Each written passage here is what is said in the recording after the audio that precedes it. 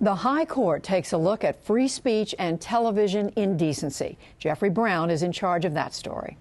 Cher, Nicole Richie, Saving Private Ryan, and the PBS documentary The Blues. What do they all have in common? Well, they've been on broadcast television where they've used or included profanity, and they're all now part of a constitutional debate over federal regulation of indecency in a case argued before the Supreme Court today. Marcia Coyle of the National Law Journal was there and is back with us tonight. Welcome back. Thanks, Jeff. All right, so this is one, as opposed to some we talk about, this is one everybody sort of understands quickly. Absolutely. What can be on television? What's indecency?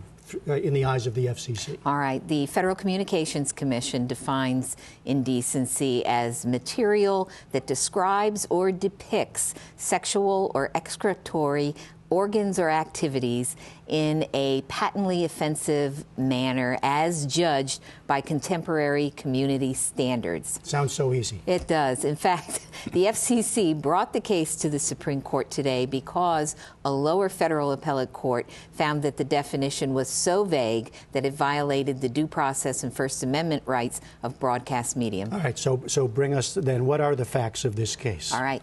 I uh, mentioned some of these people. You Cher, Nicole Richie. Yes, yes. And, and they are in this case. uh, or the, the, the, stations are in this right, case. Right. Uh, the lower federal appellate court was ruling on challenges brought by Fox Television and ABC. Fox was found to violate the indecency policy because it aired in 2002 and 2003 the Billboard Music Awards. Uh, at, in the 2002 show, Cher used the F word. In the 2003 show, Nicole Richie used the F and the S word. Uh, ABC was a challenge here because it, it found that uh, the FCC found that it violated the policy because of a 2003 episode of NYPD Blue, in which uh, a nude woman was shown from the rear entering a shower. Okay, so those, that brings us up, and then a lower court says these are vague. What happened in court today? You had so a lively time today. It, it was court. a lively argument, yeah. and the issue before the court is is exactly what came out of the lower federal appellate court, and that is is this policy unconstitutionally vague? Justice Ginsburg went right at it by saying to Solicitor General of the United States, Donald Verrilli, who's who, arguing in, uh, in, on behalf of the FCC. Right, he's defending case. the policy. Yeah. She said that the major objection here seems to be that one can't tell what is indecent and what is not. She said vulgar words in showing the movie Saver, uh, Saving Private Ryan is okay, but vulgar words used by blues mu- musicians in a PBS documentary is not. Uh, nudity shown in the movie uh, Schindler's List is okay, but it's not okay in the NYPD uh, episode.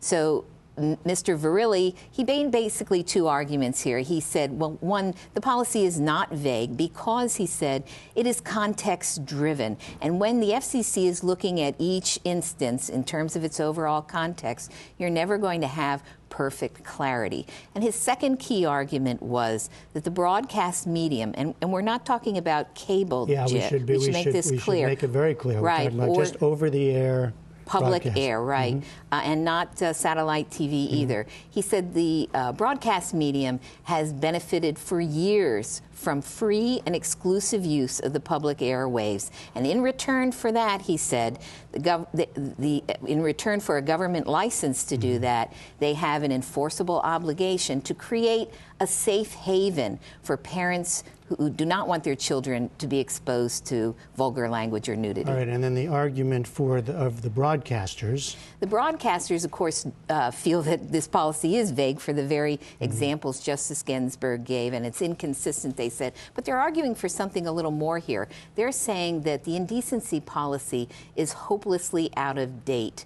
Uh, they point to the fact that broadcast medium is no longer, as the Supreme Court found in 1978, in the case involving George Carlin's filthy words, mm-hmm. that the broadcast medium uh, could be uh, regulated for indecency because it was so pervasive for mm-hmm. all Americans and so uniquely accessible to children. So the broadcast medium here is telling the court this is out of date, there's cable, there's satellite.